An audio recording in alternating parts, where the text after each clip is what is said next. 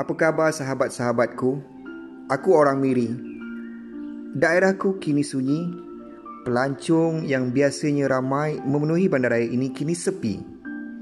Penerbangan ke Miri banyak sudah dibatalkan. Sedih. Tempat pelancongan, restoran-restoran, hotel-hotel, kedai, kedai kek lapis Siti Payung senyap dari kunjungan pelancong dan pelanggan. Kedai-kedai ini sepi dan banyak ditutup.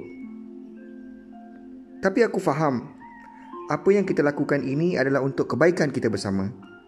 Yang penting, keadaan ini akan kembali pulih, ekonomi kita akan kembali sihat dan kita semua akan bebas dari penyakit. Ini memang menyakitkan, tapi aku sedar kita boleh mengharungi saat-saat suka ini bersama. Aku faham kenapa kalian tidak berada dan tidak bercuti ke negeriku, ke bandaraiku pada saat ini. Namun selepas semua ini berakhir, aku menantikan kehadiran kalian ke bandaraya Miri. Mungkin untuk bercuti ke Brunei melalui Miri. Mungkin untuk membeli kek lapis di Siti Payung.